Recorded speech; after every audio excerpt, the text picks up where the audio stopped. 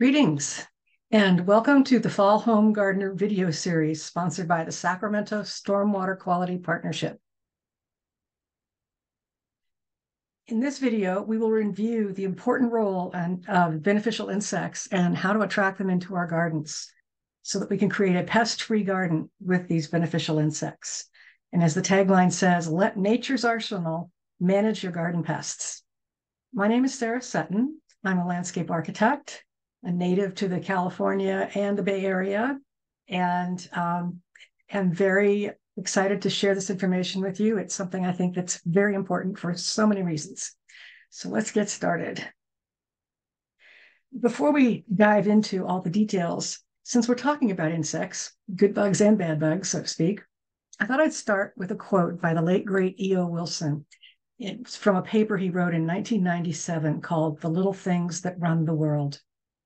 If all mankind were to disappear, the world would regenerate back to the rich state of equilibrium that existed 10,000 years ago. If insects were to vanish, however, the environment would collapse into chaos. And what he's saying here is that it's all connected. It's all about the food chain, the, the food web that you see depicted on the sketch to the right. And it starts with the plants and moves up to the herbivores, then the carnivores, the omnivores, and we're in there too. It's we're all related. So we need to find ways to not hurt the beneficials and let the pests that we don't want in our garden become food for all the predators we can attract. And there is a concern about biodiversity at all levels in California and globally, that it's decreasing at an alarming rate for so many reasons. And we don't need to be helping limit biodiversity by using chemicals and such. The native biodiversity in our landscape at all levels is the key to resiliency. We need to bring back the natives, plants, the native animals, and keep them in our ecosystem. And we must prefer, preserve and support the food web services, these ecosystem services that all of the this rich ecology provides. So we need to keep it in balance.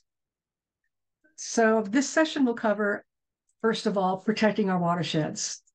And then we'll introduce integrated pest management. We'll talk about garden and landscape pests, beneficial insects, and other, other animals we can attract to our garden as a key strategy for integrated pest management. How to attract and retain the beneficial insects and other predators to your garden and landscapes.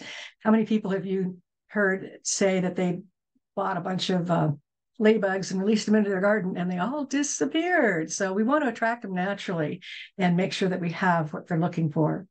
And then there'll be some other approaches I'll discuss to discourage and eliminate pests, both in your home and your garden.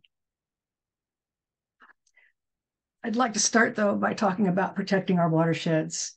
Use of chemicals has impaired water bodies all over the world and all of the state, the Bay Area rivers and streams, mostly streams, uh, are listed as impacted from various chemicals that have been used over the years.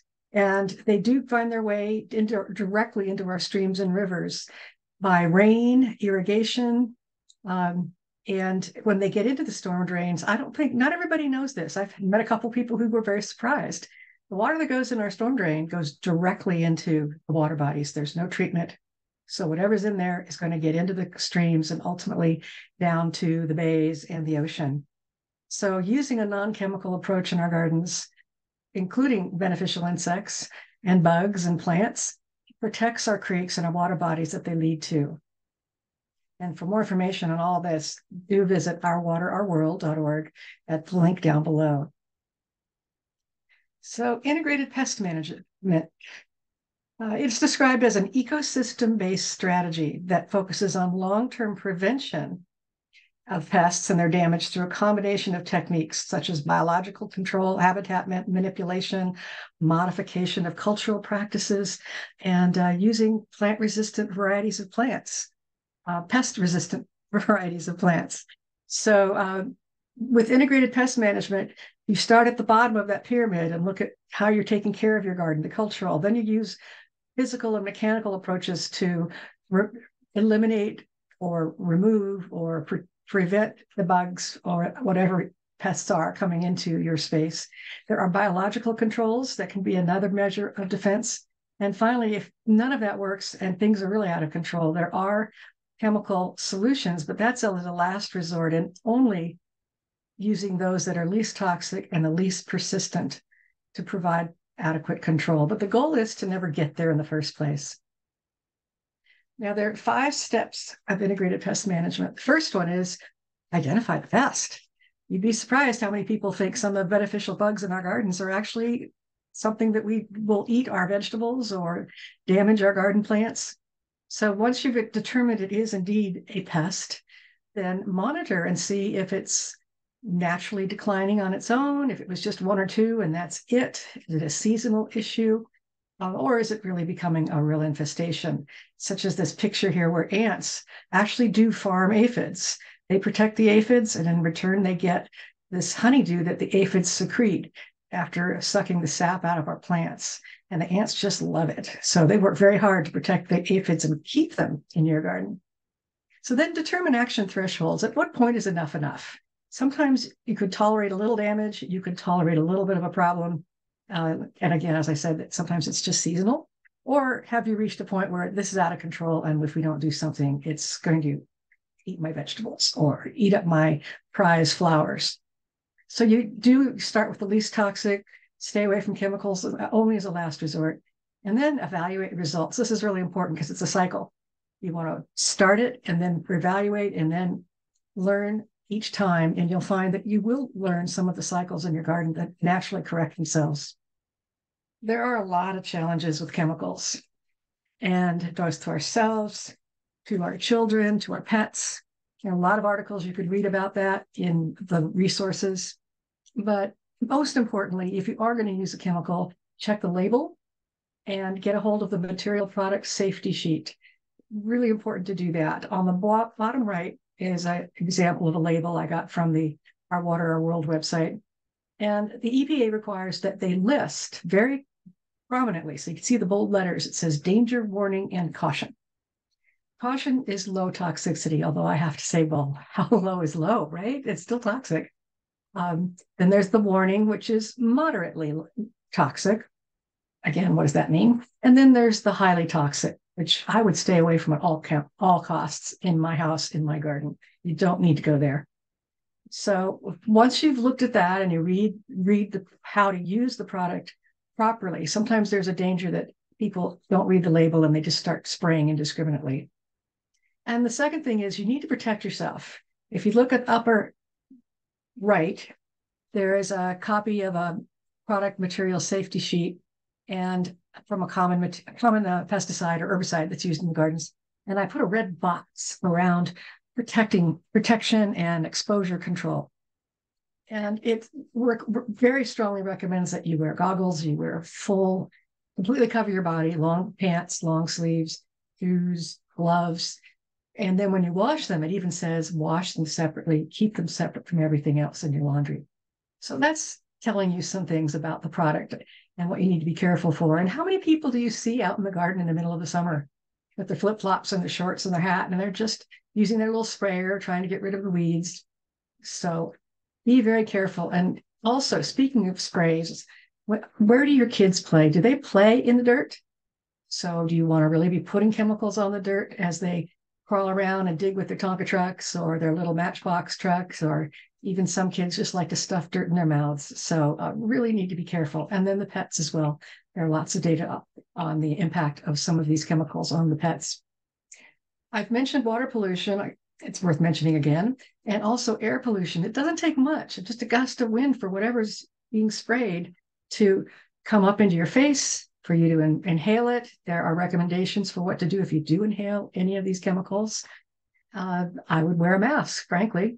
Um, so you want to make sure that, again, you're not exposing anyone, pets, animals, kids. If it gets into the watershed, it can eat, it can impact fisheries. And there too, it's relatively uh, popular biologic controls, Bacillus thuringiensis or BT, and pyrethrins. And there are problems with those based on some of the research I've read that the BT is a naturally occurring bacterium found in the soils all over the world. And to reproduce, it produces spores. And if uh, insects or insect larvae eat the spores, it can be toxic to them. And because it's a natural source, they call it a biopesticide, but it's still a pesticide. And they generally tend to, to pose fewer risks, but they specifically say, everything I've read, that it's also toxic to nematodes. And there are really good nematodes we need to keep in our soils that attack a lot of the other microorganisms that could cause problems if left, left unchecked.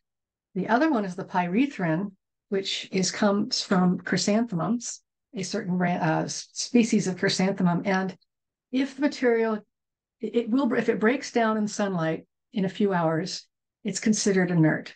But if it's damp, if it somehow ends up in the waterways, then it can be toxic to birds, fish, and beneficial insects.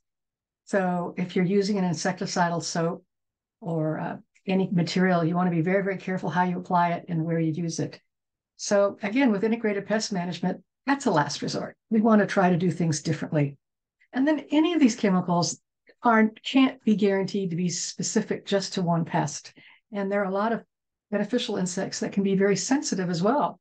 And then you're actually damaging the insects that you want to keep in your garden, which makes it easier for the pests to come back in. So again, we're thinking holistically, ecologically. So sometimes people say, well, what is a pest? What is a garden pest, a landscape pest? And it's a nuisance destructive to our garden agricultural plants and or carry disease. And that would include any plants, commonly known as weeds. And it's the joke is uh, a weed really is just a plant where you don't want it. There are lots of weeds that grow in nature just fine and they provide a lot of benefits. Uh, it's a vertebrate or an invertebrate, all different types of birds, rodents, mammals, um, insects, etc. Uh, nematodes and pathogens in our soil, the little small microscopic. And it's if it's one that causes disease or a, an unwanted organism that may harm water quality or animal life or other parts of the ecosystem. And there are a lot of invasive species that have come into our environment from uh, other parts of the country, other parts of the world. And sometimes, if they're left unchecked, then they do create a serious problem. So, in your garden, learn to recognize the garden pests. And the first one is the aphids on the top left, which that I would call a very disturbing uh, population of aphids on the plant. And there are ways, mechanical ways, knock them off, spray them with the hose. Uh, you don't need to go for the can of Raid in that case. Uh, Japanese beetles, turns out, aren't in the Western states yet, but there are very strict quarantine rules. That's why many of the plants can't be imported from certain areas because of the, of the, uh, if, how difficult it, the beetle is on the landscapes back east. Cutworms, if you've ever planted seedlings for your vegetable garden and cutworms come out at night and they just munch on the right at the base of the plant or just underneath the surface. So one of the best ways to prevent any problems that I've read about in lots and lots of different garden books, they always recommend the same thing. Just get a uh, either a paper cup or a quart milk carton made with the waxy waxy paper material cardboard and create a sheath that you bury in the ground about an inch or so and then you leave it up above as well and that'll keep them from getting to the food that they're looking for. Slugs and snails, we all know what they look like, and you've seen the damage they can do. So, the first thing is just to eliminate places where they hide, and they like shady, damp places. So, this is where garden garden cleanup, garden hygiene is really important. Uh, and then there are lots of ways to discourage them, get rid of them. I know people who like to harvest them, feed them cornmeal, and then they make escargot, and it's uh, very tasty way to enjoy your snails if you like that. Um, and, and, then I'll say more about some other techniques. Spider mites you may never see, but you might see the webs. They're very fine filamental webs, but you'll also very possibly see they suck the leaves. And so you'll start seeing little streaky areas where the leaf is being uh, sucked dry, so to speak. So uh, apparently in uh, orchards, they can become more prominent when it's hot and dusty. Something about that attracts them. So they, they recommend that you hose off your plants maybe once a month or so just to keep the dust down if you have that problem where you live. And um, you can also, if you think if you have them, just do a more forceful spray on the underside as well as the top. Will eliminate most of the population, and that might be enough to just keep them at bay. Squash bugs, are about five eighths of an inch long, so that you could actually see them. And they like squash and animals in the squash family. I mean, plants in the squash family. And you, the hygiene is probably the best thing here as well. They like to hang in damp, moist places underneath a rotting uh, squash plant or one that's fallen underneath the uh, the big leaves. So keep things clean and airy, and they will probably not become a massive pest. And catch them early. Now, I've never seen a flea beetle, but apparently they can jump. And that's if you see a little black shiny beetle that jumps, a tiny one that jumps off your plant, then that might be what you have. And um, the best way to control them is again just to keep your garden clean, hose them off if you need to. The cucumber beetle, there's two kinds, and they do like cucumbers and other cucumber family vegetables. Um, they're active. Usually, they don't like heat and they don't and they do like moistures and they come out at night most of the time. So if it's a hot hot day they will be hiding and you want to again keep your garden clean. Now earwigs oh they scared me when i was a kid. Look at how they did something about them with their little pinchers. Uh, and i had to learn that they really were harmless. They don't chase children down and pinch them. Uh, they're most active at night and they like dark damp places like a lot of these beetles do they can be devastating on seedlings and your garden flowers, tender things, soft fruit, real disappointing to see them chewing on some of the fruit. Usually they go after the ones that are on the ground, but they can get up in the trees too. Uh, but one thing about them is they're a very active predator towards aphids. So keep a lookout for them and see if where they are, there are some aphids around and maybe you just let them stay. Don't bother them. And one way to capture them is to roll up a piece of newspaper and leave it out on your driveway where it'll get damp at night. And they will very often they'll crawl in and you can pick it up and dispose of it without uh, pretty simple and easy to do. And then of course gophers. Those gophers can be awfully, awfully disturbing. And the problem with using any sort of poison is that any mammal that ha- is a predator of a gopher will also be poisoned if they eat it. And I have a friend's cat that came in and was frothing at the mouth and other symptoms, and you could tell that something was really wrong. And it, it died within a half an hour. And we found evidence of, an, of a half eaten gopher outside. So don't let that happen to your pets. And the best way to get rid of them is to use traps. That's what a lot of the city of San Francisco has been very successful with traps, and then uh, other cities as well. And the other thing is uh, just get cages for your plants. And I make my own using rabbit mesh. That's that one half inch grid galvanized. And I kind of make an origami type box that I flip together with some wire pieces and give it a lot of room. And that takes care of any possible problem. They just keep looking and looking, but they can't get into those. So now we're going to get into three very common household pests that people always want to know what to do with and really don't want to use chemicals and sprays in the house, which I and I totally agree with that. The thing about ants is not all of them are actually pests. Some just wander in and disappear. They usually come in to a building looking for shelter if it's a really hot, hot day, or if it's really wet, they want a place that's dry. They're always looking for food. All and if you have anything that's any crumbs, any things that have dropped on the floor that you didn't see, they will look for that. And if they get established as a colony, either under your house or nearby, they're really difficult to control. So the first thing, though, is to identify the species, which you can by looking at this chart. You go to the uh, UC Ag and Natural Resources website, the ipm.ucanr.edu. It's listed down below. Every question you have or possibly have about any kind of garden pest, beneficials, et cetera, is going to be found on that website. So you find out what you have and you'll get some specific recommendations. But in my my experience over the years, the first thing is monitor and inspect frequently. If you if you're you know you get ants in your house from time to time, so just look for them.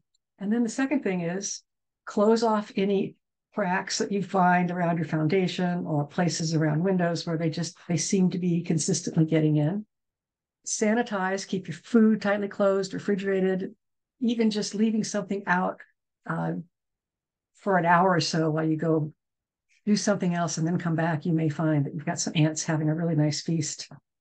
Non toxic contact sprays, I use Murphy's oil soap. I thought, well, it's citrus and it's oily and it's non-toxic.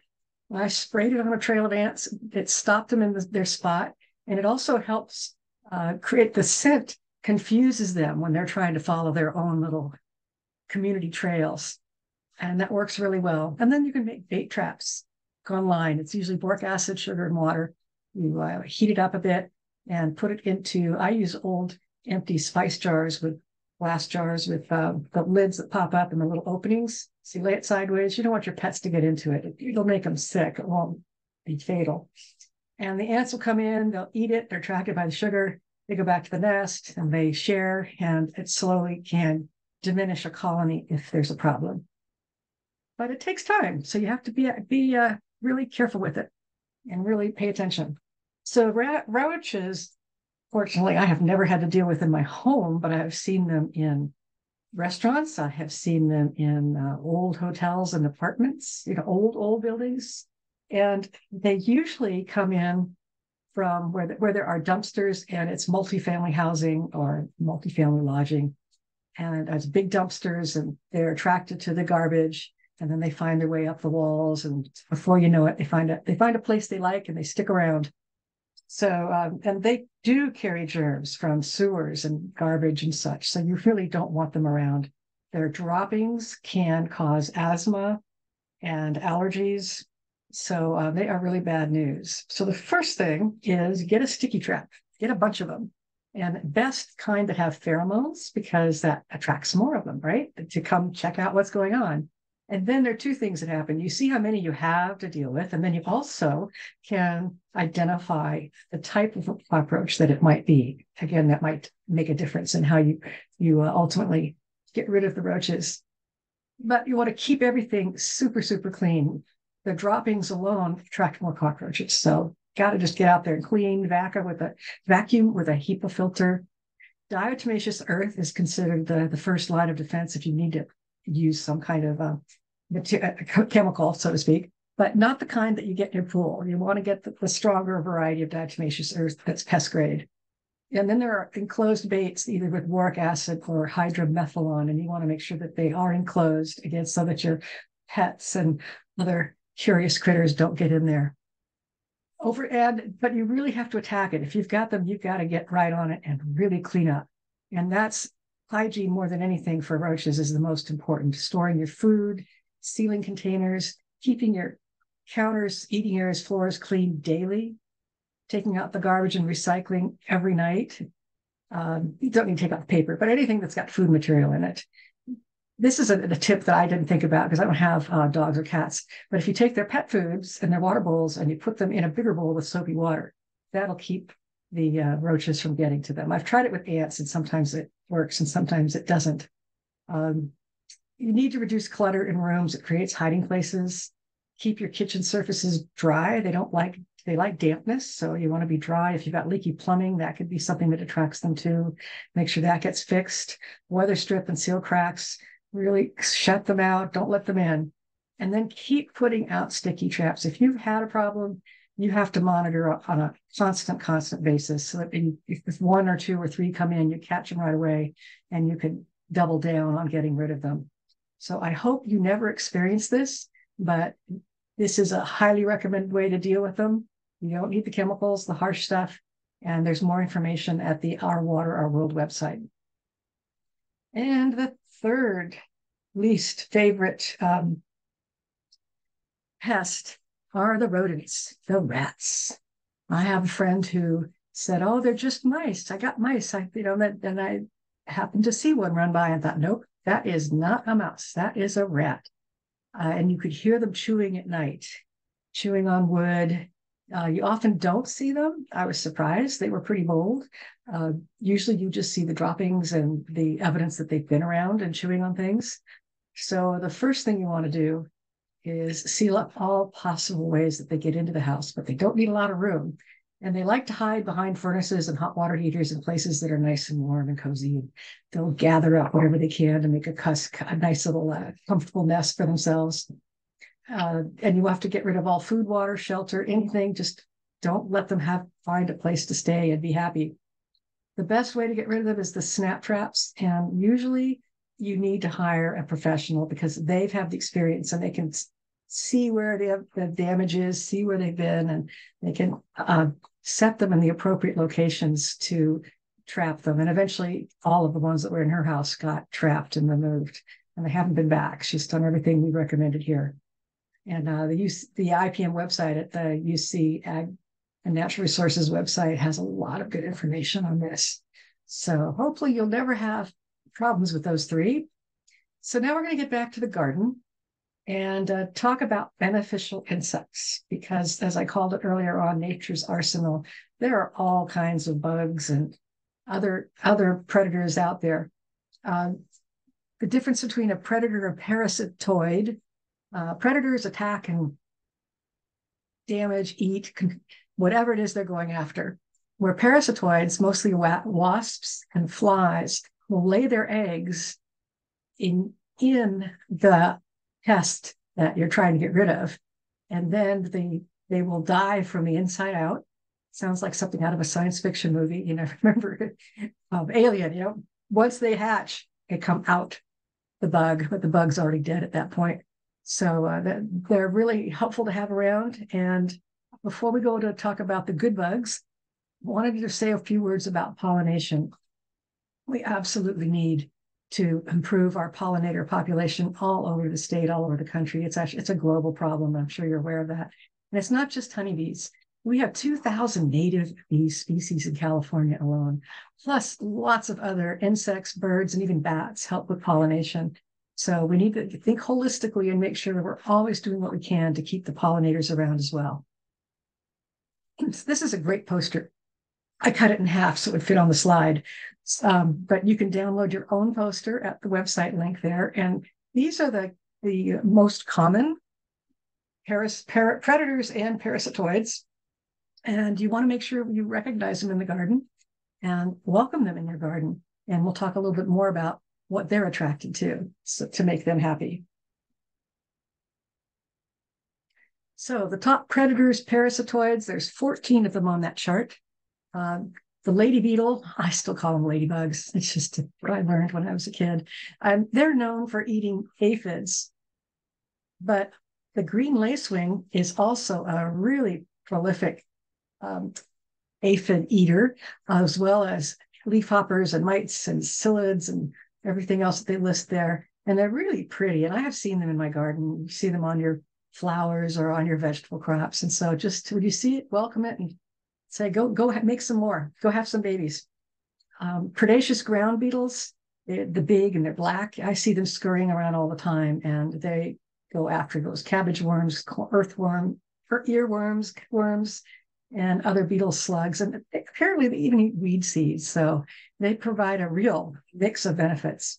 There's the damsel bug. Look at that long, skinny thing. It's kind of interesting looking, isn't it? Uh, and they eat a lot of prey. Soldier beetles, I've seen those around a lot. They are long and they've got the red on the sides and they uh, stand out really uh, distinctly in your garden. Then, of course, spiders are good. They'll, they'll feed on roaches, earwigs, mosquitoes, etc., and other spiders, other insects. And some of these predators will eat the beneficial insects too. I mean, that's not a, they're not focused on just the bad bugs. And so that's why we want a balance and we want to maintain a real healthy garden that attracts all of these. The hoverfly, have you seen those in the garden? They're very tiny and they hover like little helicopters and they I've never seen them do anything but just maybe land on a flower and consider it and then fly away. But apparently they prey on aphids too, which are pretty big for their size. Um, and cabbage worms, mealybugs, the predatory wasps. This is the kind that will lay eggs on the different um, different pre- different prey, different um, pests, and the praying mantids are completely harmless to all of your plants, and they eat lots and lots of insects, good and bad. So uh, you want to make sure that you keep again a balance in your garden. And then the pirate bug is really, really tiny and mainly just eats the smaller insects and larvae. Uh, you might not even see those because of their size. And uh, four more, the thrips, six-spotted thrips, the western predatory mites, they feed on spider mites and uh, eriophyids. Dragonflies, they go after mosquitoes and gnats and flies and termites and ants. And it makes sense that they go after mosquitoes. They hang around ponds. You notice how they always come over and they like the water supply as well. And then the assassin bug apparently is the champion. So take a good look at that one. You want that one in your garden. They are very voracious and will eat anything they come across. So now you've met 14 of them. And well, how do you attract them? How do you keep them? So you want to plant beneficial insect plants. And this is a good time to mention this fall series has three presentations. There's this one, there's one on beneficial plants. We get more into the plant aspect of it and more about who, they attract. And then the one, there's another one on your garden and hot heat gardens and how to how to protect yourself and your garden. So back to this slide. I like this chart. I cut it in half to make it fit on the slide. It's from Cornflower Farms. I'll show you the link on another slide. But what they show is what's the beneficial insects? You see, you see some of the ones we mentioned. What are the major pests that they go after? And then what plants will attract them to your garden? And notice that the milkweed is listed on a number of those columns. And the uh, it's not just for the butterflies. It is very good for butterflies and especially the monarchs go after one or two specific species. And I saw three of those soldier bugs in on one of these ones. And the tachinid fly, I didn't mention that. It's not on the other chart, but apparently it is one of the most important predatory insects to have in your garden. And if you look at this, you'll notice that yarrow, achillea, and eriogonum, the uh, buckwheat, and ceanothus are listed multiple times. So I always make sure, and baccharis too. So use this as a starting point. Start adding these plants into your garden and, and see if you notice visitors. You need to provide year-round blooms for pollinators and for beneficial insects because if they're going to stay around your garden, there's got to be something for them to enjoy, some some nectar, or, and they need shelter.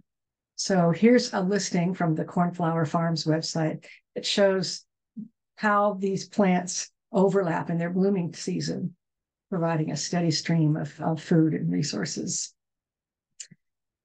Now, there are other predators you might want to attract into your garden. Amphibians and reptiles are amazing at eating things, especially on the ground.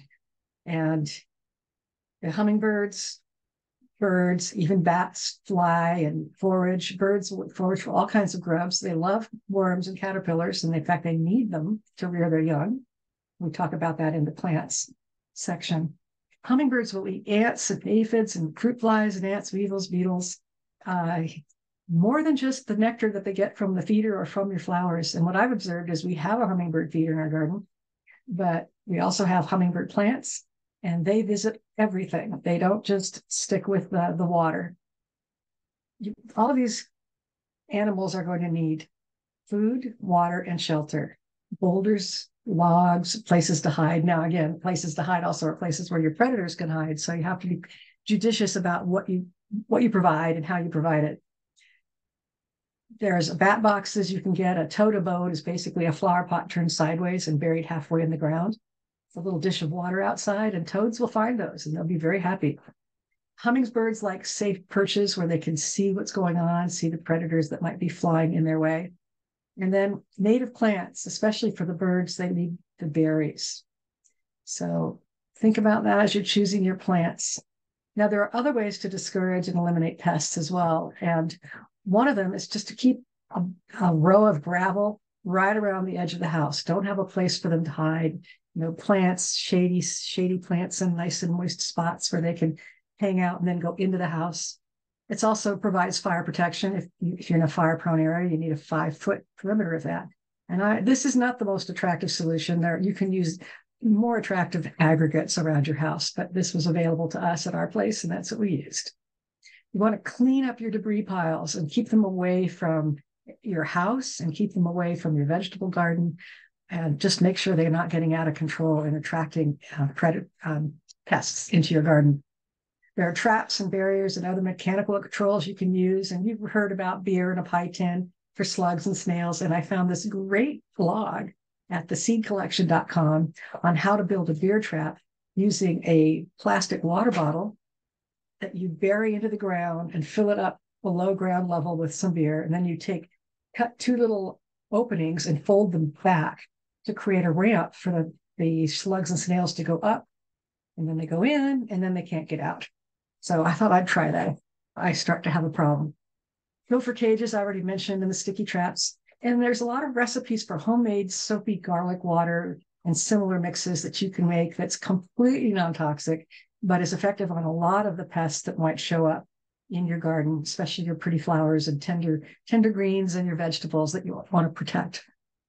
And there are pest repellent plants. You find a good list here at this link. And I remember a neighbor when I was growing up, she surrounded her vegetable garden with marigolds for that very reason. It really did help keep a lot of these predatory insects or pest insects out of her garden. So here's a list of resources. The first three on this topic are really, really valuable. The uh, Stormwater Quality Partnership, beriverfriendly.net, Our Water, Our World, lots of great information. They've been around for decades. The UC Agricultural Natural Resources website, I've already mentioned how that is a tremendous resource. Uh, then the EPA, and there's another link from the uh, invasive, uh, invasive and exotic pests from the um, UCANR website. And another one, okay, I won't read that one, but that's a great link. I was enjoying that. You can find more resources by going back to page where you logged into this presentation. And you can also watch other educational videos from this season and previous seasons at the BeRiverFriendly.net video series. So I hope you found this interesting and useful, and you're empowered to go out and take care of your garden and bring all those wonderful bugs into your garden. So thank you for watching.